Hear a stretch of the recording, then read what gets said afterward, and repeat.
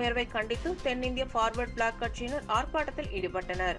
பழனி பேருந்து நிலையம் முன்பு தென்னிந்திய ஃபார்வர்ட் பிளாக் கட்சி சார்பில் ஆர்ப்பாட்டம் நடைபெற்றது. தமிழகத்தில் மின் கட்டண உயர்வால் ஏழை நடுத்தர மக்கள் பாதிக்கப்படுவதாகவும் சிறு தொழில்கள் மற்றும் குடிசை தொழில்கள் மின் கட்டணம் உயர்வால் கடுமையாக பாதிக்கப்படும். பொருட்களின் விலை உயர்வு ஏற்படும். அதனால் மின் கட்டணத்தை உடனடியாக அரசு குறைக்க வலியுறுத்தி ஆர்ப்பாட்டக்காரர்கள் கோஷம் எழுப்பினர். அண்டை மாநிலங்களில் மின் கட்டணம் உயர்த்தப்படாத நிலையில் தமிழகத்தில் மட்டும் தொடர்ந்து மின் கட்டணம் உயர்த்தப்படுவதாக குற்றம் சாட்டி ஆர்ப்பாட்டத்தில் பேசினர்.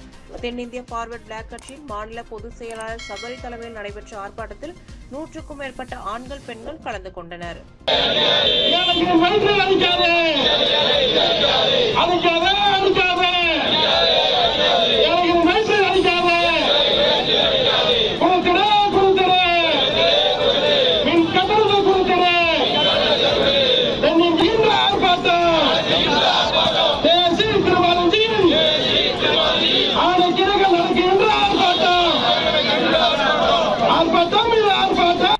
மாண்புமிகு முதல்வர் மு க ஸ்டாலின் அவர்கள் கவனத்திற்கு முதல் வந்து தேர்தல் ஆணையாக வந்து வெளியிட்டிருந்தார்.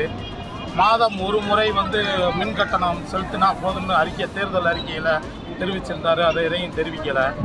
இப்போ பார்த்தீங்கன்னா ஐநூறு யூனிட் ஓடுனா ஆயிரத்தி முந்நூற்றி முப்பது ரூபான்னு சொல்கிறாரு இப்போ ஐநூறு யூனிட்டுக்கு மேலே போய் ஒரு ஒரு யூனிட் ஓடினாலும் ரெண்டாயிரத்தி நூற்றி இருபத்தி ஏழு ரூபான்னு கணக்கு சொல்லி வராங்க. இது வந்து பாதிக்கப்பட்ட நடுத்தர மக்களுக்கு இது வந்து சாத்தியமாகாது. இது வந்து பாதிக்கப்படுறது பணக்காரங்க யாரும் பாதிக்கப்பட போகிறல அன்னாட நடுத்தர மக்கள் தான் இதில் பாதிக்கப்படுறாங்க. இதனால் ஸ்டாலின் ஐயா அவர்கள் வந்து என்ன செய்யணும்னா இந்த மின்னூல் கட்டண உயர்வை திரும்ப பெறணும்.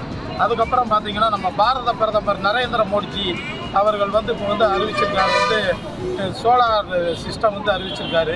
முந்நூறு யூனிட் வந்து இலவசமாக இந்தியா ஃபுல்லாக வழங்குற மாதிரி இப்போ ஒன்று அறிவிச்சிருக்காரு. இதில் வந்து மத்திய அரசுக்கிட்ட போய் பேசி நம்ம முதல்வர் பேசி அந்த திட்டத்தை இங்கே கொண்டு வந்தால் மக்களுக்கு விவசாயி எல்லாமே ஒரு அளவுக்கு நல்லா பயனடைவாங்க.